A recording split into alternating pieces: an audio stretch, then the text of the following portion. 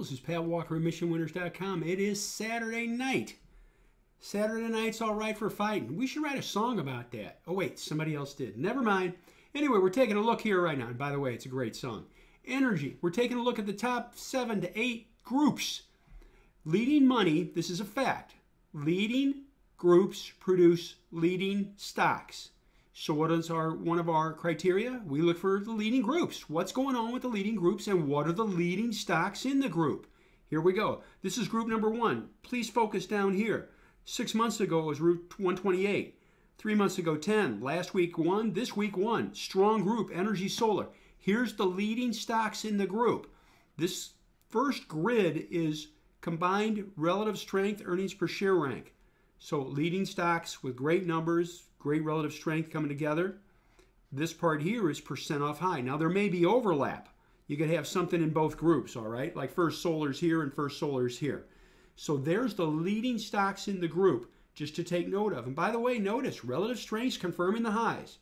There you go. Here's the next one for you. Computer Software Enterprise.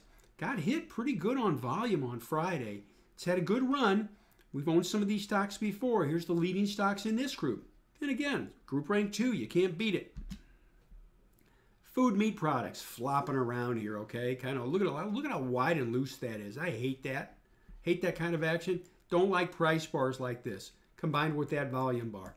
Loose. It's group rank three though, and here's the leading stocks in the group. What's the horse in that group? Right there, Beyond Meat. We own it. So that's it. Group rank four. Finance, mortgage related. By the way, we own that stock much lower. All right.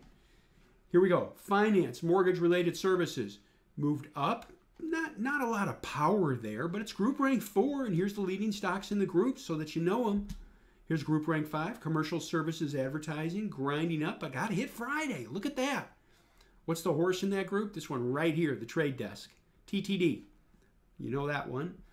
Here's group rank six, finance, credit cards, hanging on in there. Leading stocks in that group for what it's worth. American Express is a chunk of that too. Visa, MasterCard. There's Visa right there.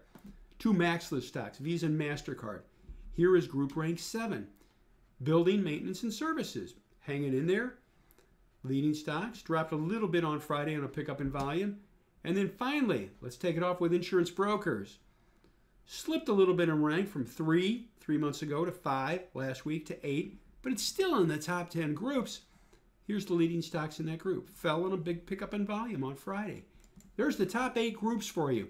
For VIPs, we do the top 25 groups. Remember this. This is a fact. Leading groups and leading stocks, there's a high correlation between those two, just for what it's worth. I thank you very much, and I hope this helps you just focus a little bit. The leading groups and the leading stocks. And I thank you.